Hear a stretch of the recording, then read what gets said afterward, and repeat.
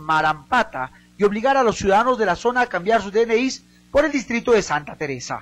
De que el pasado 6 de septiembre, propiamente vamos a decirlo, la Municipalidad Distrital de Santa Teresa, encabezado por su alcalde, han ingresado al centro poblado de Marampata, que se encuentra prácticamente a media hora del complejo arqueológico de Choquequirao. ¿Para qué? Para presionar, para hostigar, para amedrentar a los pobladores de este lugar para que cambien los DNIs hacia Santa Teresa. Y eso no lo vamos a permitir. Este es el video editado por los trabajadores de la provincia de Anta, en donde basan su denuncia de una posible invasión y amedrentamiento a los ciudadanos de Marampata. Se puede observar a un sujeto armado y otros que van delante.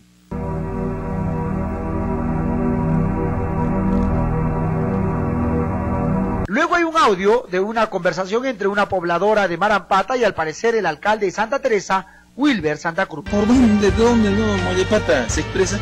Y usted lo dice, ¿no? Acá creo que usted definitivamente defiende allá.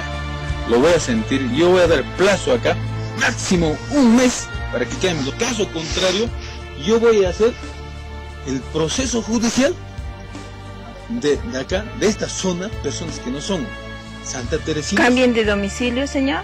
Así es. Cambien de domicilio. Así es. Finalmente este prácticamente terreno, nos está obligando. Así es. Si no Sigue es la este muela al terreno, trigo. Este terreno está dentro de nuestra propiedad titular Sotente. No, falso. ¿Me, No, va- señor, ¿Me va a mostrar no. usted? No nos sorprenda, por favor. Ustedes han venido de Urubamba. Yo sé, la- yo sé vu- vuestra historia.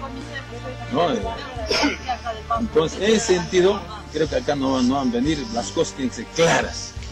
Si no hacen un mes, ya siento. También se puede observar en el video que presuntamente el alcalde de Santa Teresa